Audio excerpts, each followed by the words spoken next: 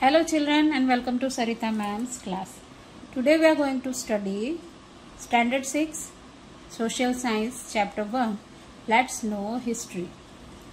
हमारे चैप्टर का नाम है लेट्स नो हिस्ट्री ठीक है अब क्वेश्चन ये होता है कि why it is necessary to know history history हमारे लिए क्यों इम्पोर्टेंट है हिस्ट्री जानना हमारे लिए क्यों इम्पोर्टेंट है क्योंकि देखो, जो हिस्ट्री है, वो हमारी ह्यूमन सोसाइटी के पास्ट के बारे में हमें जानकारी देती है, ठीक है? How rich was our culture in ancient time it gives information about that and it it is not only related with the matters of past but also act as a oracle with current system ठीक है?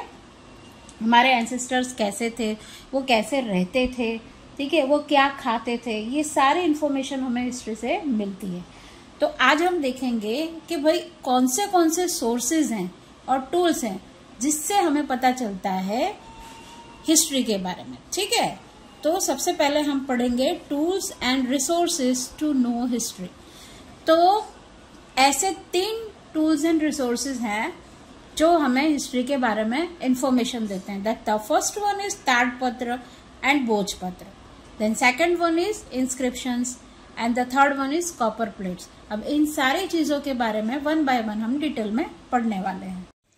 Now let us see about the first one that is tadpatra and bhojpatra ठीक है ताड़पत्र क्या है? तो ताड़पत्र का meaning होता है पाम लीव्स ठीक है, जो पाम के जो ट्रीज होते हैं, उनकी लीव्स पे जो लिखा गया था, जो लिखावट थी, उसको ताड़पत्र कहते हैं।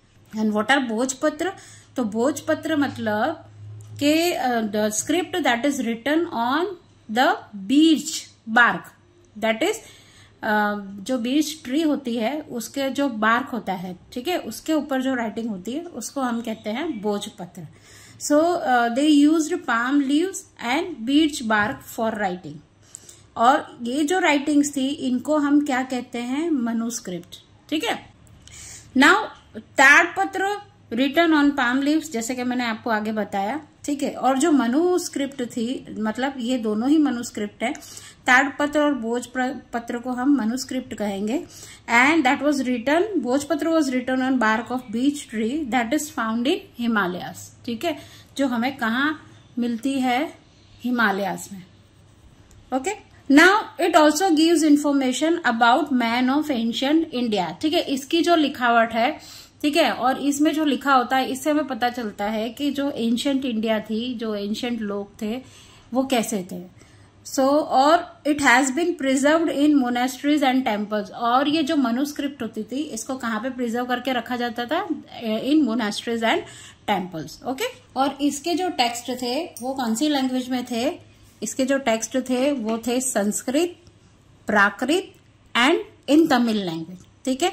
और it also gives knowledge about customs and traditions social beliefs lifestyle of kings science education medicine animals etcetera इनके ऊपर जो लिखा हुआ था ना, इनके लिखावट से और इनके जो सोर्सेस हैं, इनसे हमें पता चलता है कि उस टाइम इन एंशंट पीरियड जो कस्टम्स थे, जो ट्रेडिशंस थे, वो कैसे थे और एक राजा, ठीक है, एक सम्राट, उसकी लाइफस्टाइल कैसी थी उस समय साइंस किस हद तक डेवलप था what was the education at that time how was the medicine and what were the animals. So, all these things we know through Bhojpatras and Tadpatras. Okay. Now the second one is inscription inscription का मतलब क्या होता है?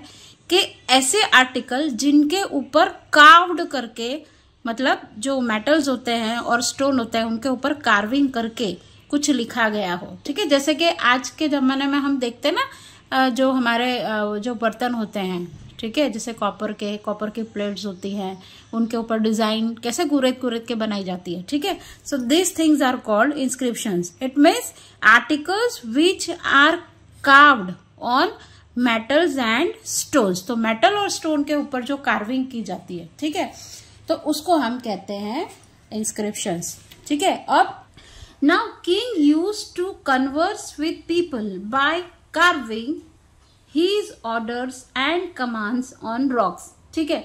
अब उस समय आपको पता है कि भाई राजा प्रजा का सिस्टम था तो जो किंग होते थे, वो अपनी प्रजा के साथ कन्वर्जेशन ठीक है?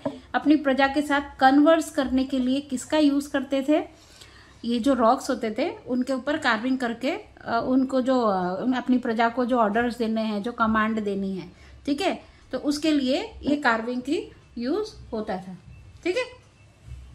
और many kings and queens inscribed information about their kingdom victory religion and culture on this stones और ये जो स्टोन्स थे, इनके ऊपर बहुत सारे जो राजा हैं और बहुत सारी जो रानियाँ हैं मतलब मैनी किंग्स एंड क्वींस वो इसके ऊपर लेख लिखवाते थे स्टोन के ऊपर। क्यों?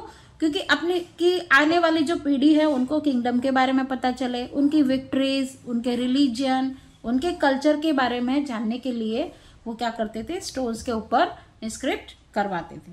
Now stone inscription of Ashoka are very famous और जो अशोक के ज़माने में अशोक ने जो स्टोन के ऊपर जो इंस्क्रिप्शंस करवाए हैं, ठीक है, वो बहुत फ़ेमस है। Ashok was a great king ठीक है ना? अशोक के बारे में हम आगे पढ़ेंगे आगे के चैप्टर में। He was a very great king और कैसे वो एक महान सम्राट से एक संत बन गया, वो हम आगे पढ़ेंगे, आगे के चैप्टर में। Records and inscription written on this are long lasting ठीक है? जैसे कि हमें पता है कि भाई जो स्टोन्स और मेटल्स होते हैं, ठीक है, वो जल्दी डिस्ट्रॉय होते नहीं है। तो इनके ऊपर जो लिखे गए थे, वो सालों साल तक चलते थे। It they were long lasting ठीक है? They can't be destroyed so this was all about जो हमारे जो टूल्स हैं, जो हमें हिस्ट्री के बारे में इंफॉर्मेशन देते हैं that we have learn this was part one अब in part two we will learn about the copper plates जिनको हम ताम्र पत्र कहते हैं, उस समय के कॉइन्स कैसे थे, इनके बारे में हम आगे के पार्ट में देखेंगे okay so I hope you have understood this much we will meet in the next part thank you bye bye और अगर आपको मेरा एक्सप्लेनेशन अच्छा लग रहा है तो please like and subscribe my channel thank you